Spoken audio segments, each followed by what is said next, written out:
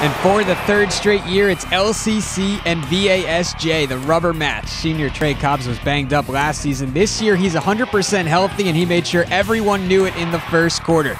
The runner gets the birds on the board, then the senior buries the long two. Later in the first, the three is up and good from the other side. Cobb scores nine in the first quarter. T-Birds lead 11-10 after one. Second quarter, more of the same. Another Trey from Trey. Number five scores 12 of his team's first 14 points. Vikings keeping pace and leading by one with three minutes left in the first half. Ethan O'Connor brings down the offensive rebound and puts it back 20 to 19. LCC leads. Then it's the D3 Player of the Year, Dantez Walton, getting in on the fun. He knocks down the three, extending the lead to four. Other end, Vikings respond. Sherman Dean answers with a triple, making it a one point game again.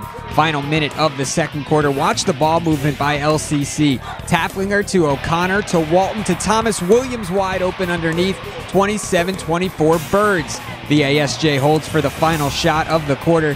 Gene Higgins works out of a double team, hits the leaner as time expires. Lima Central Catholic leads 27 26 at the half. Any momentum from that buzzer beater did not carry over into the third quarter. LCC came out fast. First, Walton steps back and buries the jumper. More good outside shooting. Cobbs from downtown. He made four of five from behind the arc in the game.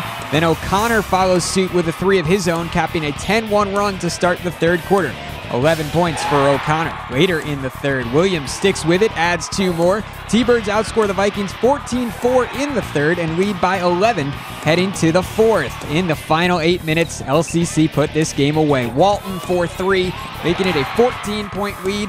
Another double-double for the future Northern Kentucky Norseman, 20 points and 11 rebounds in his final high school game. Cobbs kept his big night going in the fourth as well. A team high 24 points, six rebounds, and four assists. T-Birds haven't played too many close games this season, and this one wasn't close either. Tafflinger puts the exclamation point on the win. LCC victorious 66-44. Believe it or not, 22 points is their smallest margin of victory this postseason.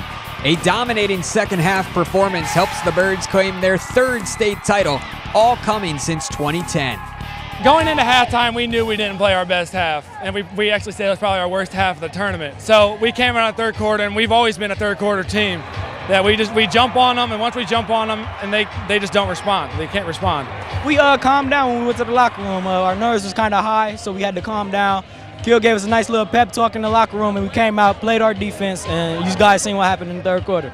Woo! Ah, man, you know, you talk about a game of just emotions. Uh, and I thought uh, coming out of the gate, you know, I, I felt like we were tight. I thought that championship uh, pressure was kind of there. You know, when you have a group of seniors that are just focused and poised. We got back to that locker room, and I saw a bunch of guys that, uh, you know, came out and said we were going to be hungry, we were going to be thirsty. We talk about being lion-hearted the entire season.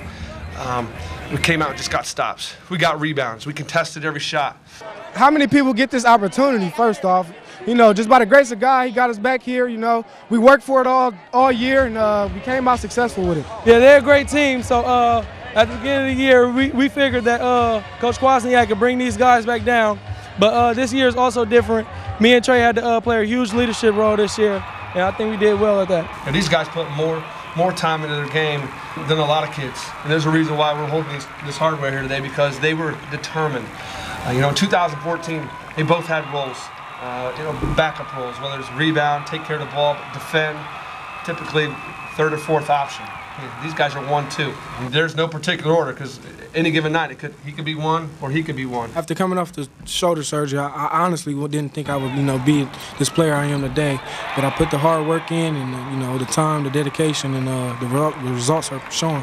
Unbelievable, and we know as a team if we're struggling or anything like that, just get the ball in Trey's hands and he'll finish the job for you. I feel like a couple, you know, the state of Ohio overlooked me, you know, and uh, I just been playing with a chip on my shoulders, and uh, it's been successful. You know, it really helped me, you know, get more motivated to, you know, do better. He i- he is proving everyone wrong who's not. I mean, who's not believing in him. Um, I mean, the way he played semifinals and the state finals, if he's not a Division One player, I don't know what is. We just, I just want to thank the seniors that, that were out there with me because I wasn't the only one leading this team, and especially uh, Trey Cobbs, Josh Dixon, and Ethan O'Connor, and Nick Taff. It's been good to our family. I was just done telling my dad. Like, he's got three rings. I have two. Aiden has one. Tyler has one, and my sister has one. So yeah, we play uh, pretty well in Columbus. No, we never felt like we was gonna doubt ourselves. Uh, we always knew that our main goal was to win a state title, and that's what we came out here and did today. And we all played our uh, parts in our defense, and we came out victorious today. We continue to play together, but most importantly, we play for each other. Play for Lima Central Catholic. You two are the most successful senior class in your school's history. perfect example of them doing everything together was when that lady called uh, the seniors up to receive the trophy. These seniors didn't want to do it by themselves. They wanted their team with them. You know, and that's that's uh, that's the kind of the classy guys that they have. That that they didn't want to have all the accolades by themselves. They wanted they wanted to make sure that the team felt this. You know, they've been total team players the entire time, and you know, as a coach, you know, uh, kind of a father figure to them.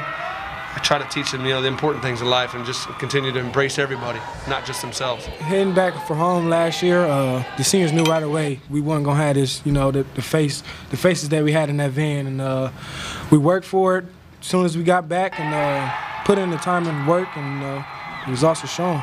Last year we had our heads down, as you've seen in the newspaper, which we hold up in our locker room, uh, to so we can remind ourselves on that feeling we had. And then this year, uh, you you guys probably heard us in the locker room cheering, so that's a good thing. Quaz and I go way back, you know, obviously the last three years to, at the championship level, and it's been a great relationship. And so we knew that we, we were going to see some different looks. You know, obviously the zone slowed us down, but once we got into rhythm with defense um, and just kind of warmed down, you know, that's what we've been doing all season long. You know, I think you said it best the other, the other night. You know, a, a, a typical, you know, LCC fashion of defense uh, of wearing teams down, and it's what we did.